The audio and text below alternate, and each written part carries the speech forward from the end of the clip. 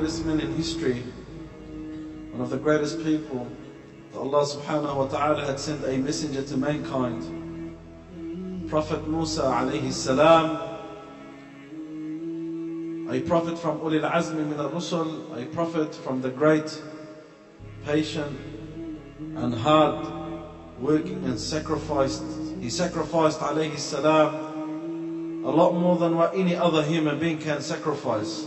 A story for us to take as an example, a story for us to look up to, a role model, an example for us to follow. And then when he was born, and how Allah subhanahu wa ta'ala protected him as a child. And with the protection of Allah, this is the hikmah of Allah, Allah protected him with the one that the mother of Musa was running away from the Pharaoh. In which Musa alayhi salam grew up in the household of the Pharaoh, and Musa was looked up to be as the son of the Pharaoh. And then Allah subhanahu wa ta'ala wanted to prepare Musa alayhi salam for that great job and mission in calling to Allah subhanahu wa ta'ala to be sent as a special messenger to remind Fir'aun and a special messenger to save Bani Israel from the oppression and injustice they were in. And they were after Musa alayhi salam to capture him for the crime they had committed. He killed an Egyptian. When the news went around that Musa alayhi salam is the one that killed the Egyptian yesterday, the soldiers and the army and the police were after Musa alayhi salam to capture him to pay the price for that crime A man from the Egyptians who was close to Musa alayhi salam came to Musa telling him, Oh Musa, everyone is after you, some advice to you to leave the city. And Musa alayhi salam left Egypt. He went east towards Palestine. Allah subhanahu wa ta'ala he says, فخرج منها خائفا يترقب قال رب نجني من القوم الظالمين He escaped from it. He escaped from Egypt. يترقب with fear and watching out and looking out for anyone that's following him. And then he resorted to Allah subhanahu wa ta'ala. He said, Rabbi, najini min al-qawm al-zalimin. Oh Allah, save me. Oh Allah, save me from the wrongdoing people. Oh Allah, save me from the wrongdoing people. And he, Musa alayhi salam, will walk alone without any preparation for traveling. Alayhi salam just left the town and he, wants to, and he went towards Madian. And alayhi salam had no food. What is he going to get from the desert except the leaves that are lying around? Musa alayhi salam was eating from the leaves of the trees, that his lips became green. Until he arrived to Madian, very skinny, very tired, barefooted. And Allah subhanahu wa ta'ala, not only He guided him to the right road, but Allah's preparing him for the greatest road. And that's a road of being a prophet and a messenger. Allah Azza wa Jal is preparing Musa alayhi salam for the path of being a prophet and a messenger. When he arrived to Madian, he found a big group of people gathering, and the most of them were farmers. They had their sheep and they had they, they had their sheep and they had their goats with them. On the side, he saw two young women sitting on the side with their sheep with them. Everyone is gathered around that water except those two women with their sheep sitting on the side. Musa alayhi salam was amazed. So Musa went to him and he said, قَالَ مَا خَطْبُكُمَا He asked him, why are you here when everyone else is around that water? قالتا, they responded back, قالتا لا نسقي حتى يصدر الرعاء وأبونا شيخ كبير. As you could see, this crowded and there's so many people, and we are two women. We don't want to get in the middle of people. And this is the haya, this is the modesty of the woman, this is the modesty of the daughters of the Prophet and Messenger Shu'aib alayhi salam. So Musa alayhi salam, he helped them, and what did he do? He forced himself in between everyone. And there is a narration that says that there was ten men trying to pull out a rock, a massive rock that blocked that well. And Musa alayhi salam alone who pulled it off. So Musa alayhi salam was given that strength. And it's been narrated so many times that Musa alayhi salam had the strength of 10 people. Musa was very well known to be with his strength. فَسَقَى لَهُمَا So Musa alayhi salam helped those two women. After he helped them, he went under the shade of a tree and he resorted to Allah subhanahu wa ta'ala and he said, Oh Allah, for what you have granted me from this strength, I am still a poor person. And he's poor. He's like, he's someone that has nothing now. Or he, he comes from a righteous family living in a palace or in a kingdom of the strongest and the most powerful man in Egypt. And now he doesn't even have shoes to wear. He doesn't even have food to eat. And she went up to him. She probably saw his situation. And after him helping them, so she felt that this man needs help. She said, my father is calling you to repay you back for the good that he done towards us. Allah Azza says, when Musa alayhi salam went to Shu'aib, when Sh Musa alayhi salam saw Shu'aib and he saw the iman and the nur in the face of Shu'aib, he felt comfortable and secure. So Musa alayhi salam opened his full heart to Shu'aib and he told him the full story. Shu'aib told Musa, don't be afraid, don't be scared.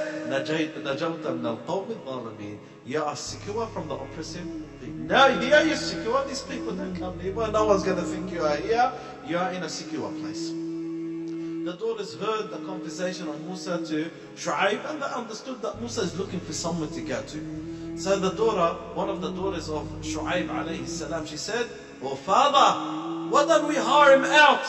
Why don't we keep him as employee for ourselves? We need a man, the best of people that you could hire. Al-Qawiyyu al-Amin, the strong and the trustworthy. The strong and the trustworthy. What more can you want? So Shu'aib alayhi salam offered that to Musa.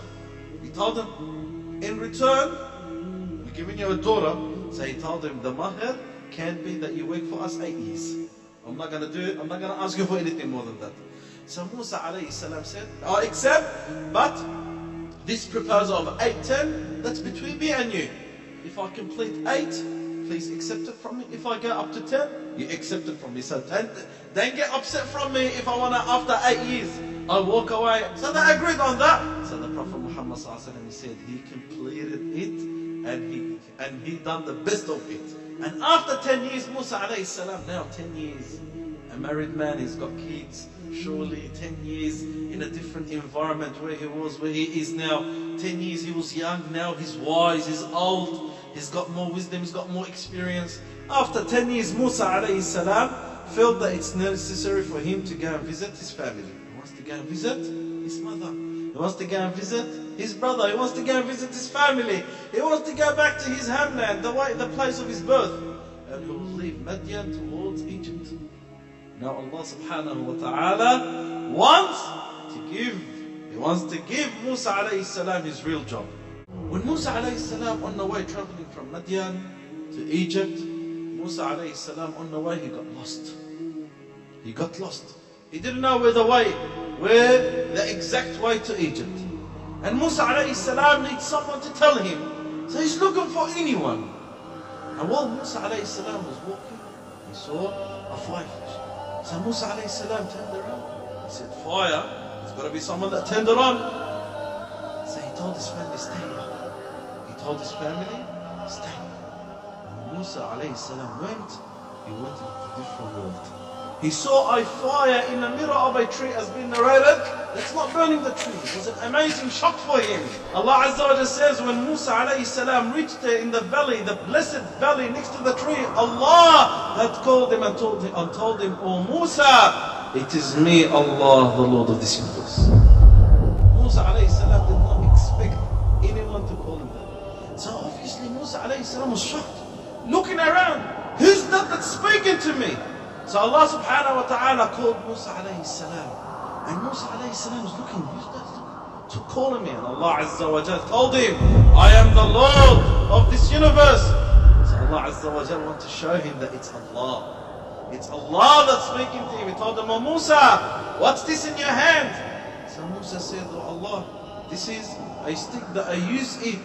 I use it for my sheep. I use it for me to on. So Allah Azza wa Jal wanted to show him this is not a joke. This is not a joke on Musa throwing.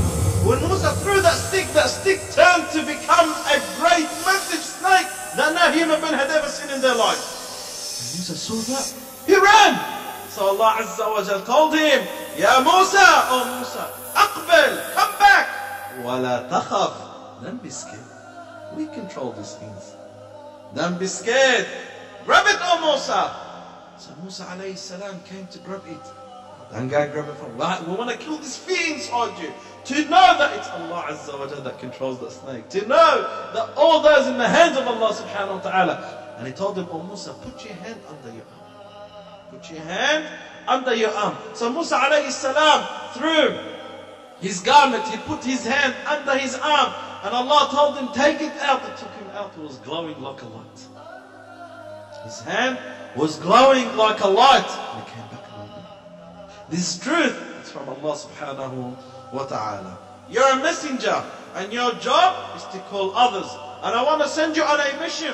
Your mission is to save Bani Israel from the oppression that they've been living with Fir'aun. So go to Fir'aun, innahu tagha, he's gone over the limit. He has gone over the limit. So Musa alayhi salam said, to Allah, I have a problem in my speech. And I need someone to support me. وَأَخِي هَارُونَ وَأَفْصَحُ مِنِّي لِسَانًا Why don't you send my brother Harun? He is more fluent, he is more eloquent, he speaks better with his tongue. Send him with me to be as a support and as an assistant to me.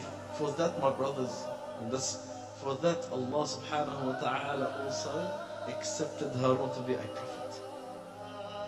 And Allah subhanahu wa ta'ala, Allah azza wa jal, He also ordered Musa alayhi salam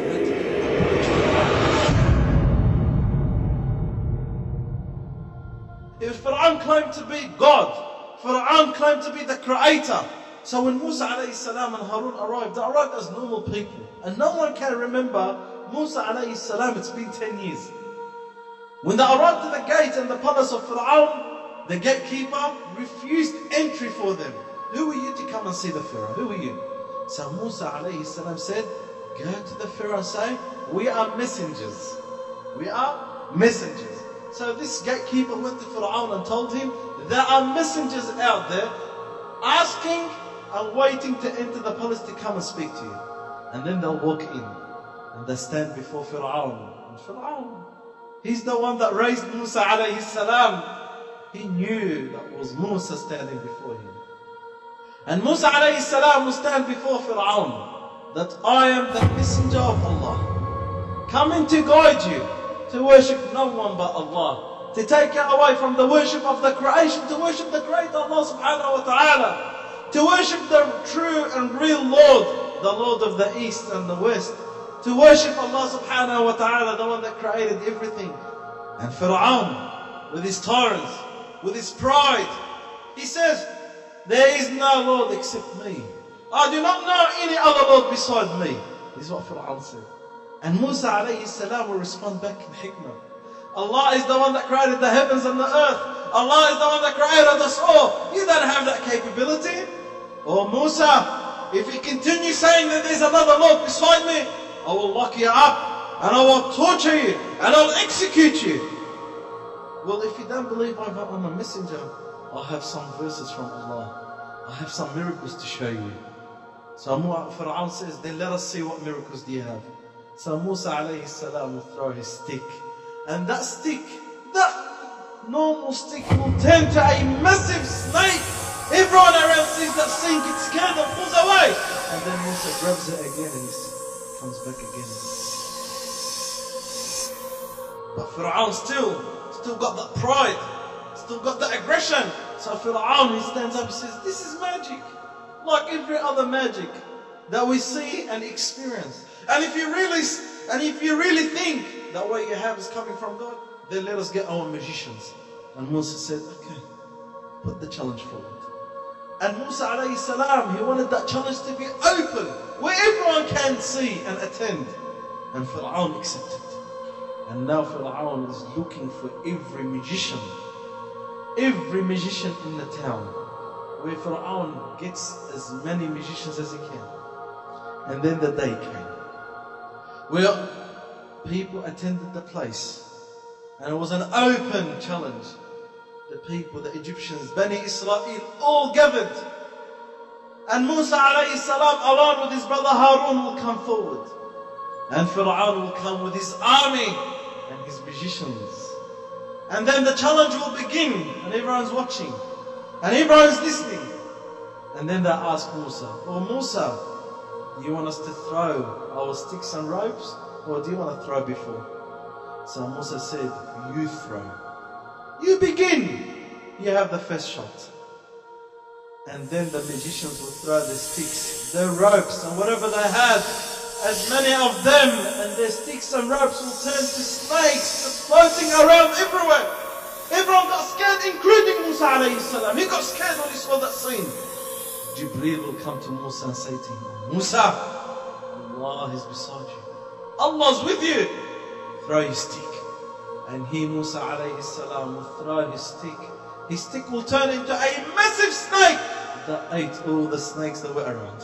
They saw that stick and what that stick turned to. That's not magic. So they were the first people to prostrate to the Lord of Musa and they said, We believe in the Lord of Musa and Harun. They were the first people to resort to Allah. They were the first people to repent. If you don't, if you do follow Musa, if you do surrender to Musa, I will execute you. I will chop your feet and your hands and arms and crucify you in the middle of the desert. So they said, La dair. Do whatever. We are the followers of Musa. Subhanallah. They were tortured by Fir'aun before that. Their hands and arms and feet were chopped. They were the first people to believe in Musa Musa is just getting stronger and stronger and more followers. And people are just following him. And Fir'aun wants to kill Musa alayhi salam. He's too afraid of him. He's too scared of him. He saw things that he's never seen in his life. And the followers and the soldiers and the ministers of Fir'aun will come to Fir'aun. And they're saying to him, how could you leave Musa alone calling to his religion? And the people of Bani Israel are following him. And this, all these Egyptians are also following him. And Fir'aun is too afraid to go near Musa alayhi salam. His ending is coming very near. And Musa alayhi salam will go back to Fir'aun and say, Oh Fir'aun, free Bani Israel and send Bani Israel with me. Enough is enough. You've tortured Bani Israel. You've treated them like slaves. Now I want you to free them and send them with me. How many people were from Bani Israel at that time? It was over 600,000. So it's a full nation. Just free them and send them with me. And Pharaoh say, no, I'm not going to send them. And Musa say, my Lord orders me to do so. And Pharaoh denies the Lord of Musa alayhi salam. And then Allah subhanahu wa ta'ala started to torture Pharaoh and his people. Allah subhanahu wa ta'ala will punish Pharaoh and punish the people of Egypt. The first punishment is Allah subhanahu wa ta'ala made Pharaoh and the Egyptians go through a severe drought that they'd never ever experienced before. Musa alayhi salam will go up to Pharaoh and say to him, Allah is punishing you. And he'll continue to punish you and your people until you free Bani Israel. And Pharaoh will refuse. Then Allah subhanahu wa ta'ala will send another punishment on them.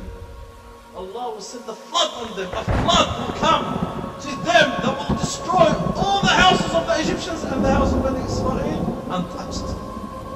Musa will go to Pharaoh and say to him, Oh Pharaoh, release and free Bani Israel, or Allah will continue to punish you. And Fir'aun will refuse. So Musa will go to Fir'aun and say to him, Oh Fir'aun, release and free Bani Israel, and Allah subhanahu wa ta'ala take away this punishment. And Fir'aun with his pride, he refuses again. The last punishment was the blood. They have no more water, just the normal water. They come near, turns to blood. They come to drink, it turns to blood. They come and have a shower, with it turns to blood. The whole world was just revolving around blood.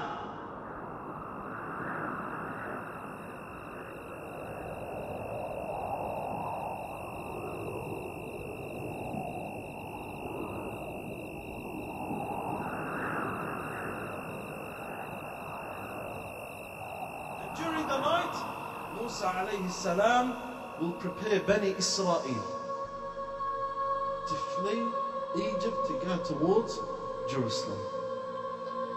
At night, Musa alayhi salam, he sends the word around to Bani Israel, let every member from Bani Israel to be prepared that during the night when everyone else is asleep, they get together and they leave the city of Egypt going towards Jerusalem. Musa alayhi salam traveling during the night with Bani Israel until they arrived to the Red Sea. When they arrived there, where Musa alayhi salam is standing, trying to figure out which way possible for them to go from one side of the sea to the other side, so they could go to the land that Allah had promised. what does the news come to them? That Fir'aun and his army are coming. 1.5 million soldiers at that time. We had revealed to Musa alayhi salam to hit with his stick. To hit with his stick the ocean, the sea. The sea then just became a big split like two mountains of water and a clear, dry path for Bani Israel to walk through together. Here Musa alayhi will walk. And Bani Israel from behind Musa will follow. With their families, with their kids, with their animals and cattle, walking from one side of the sea to the other side of the sea. And Allah subhanahu wa ta'ala put the fear in the heart of Fir'aun and his army and his soldiers. Once they arrived, they saw that great miracle in front of them. And Musa alayhi salam is on the other side with Bani Israel. And Fir'aun will order his army to go inside that tunnel, inside that path. And then Fir'aun will walk. And Allah subhanahu wa ta'ala from his hikmah made the whole army walk into the path. When the last person walked into the path, Allah collapsed the water over them. And Allah subhanahu wa ta'ala destroyed Fir'aun and that great, massive, strong, powerful army that mankind at that time have not experienced. Allah destroyed them. The Prophet Muhammad sallallahu narrates, he says that Jibreel alayhi salam once said to the Prophet alayhi salatu wasalam, O Messenger of Allah, I have never hated someone as much as I did hate Fir'aun. And you should see me, O Muhammad, when Fir'aun was drowning in that sea, when Fir'aun was drowning in that sea, at that time Fir'aun knew that the only Lord worthy of worship Allah subhanahu wa ta'ala. I had submitted, I believe the Lord Bani Israel believed in. Jibreel alayhi salam said, Oh Muhammad, I wish if he saw me, I was grabbing the dust and the water, throwing it in the mouth of Fir'aun. So he does not say the Shahada, so Allah Azza wa Jal does not have mercy on him. شبت حي الغير وابداعهم غير إذا ابتعدت أصبحت يا شوق طاير في صف قاري صوتي يا قاري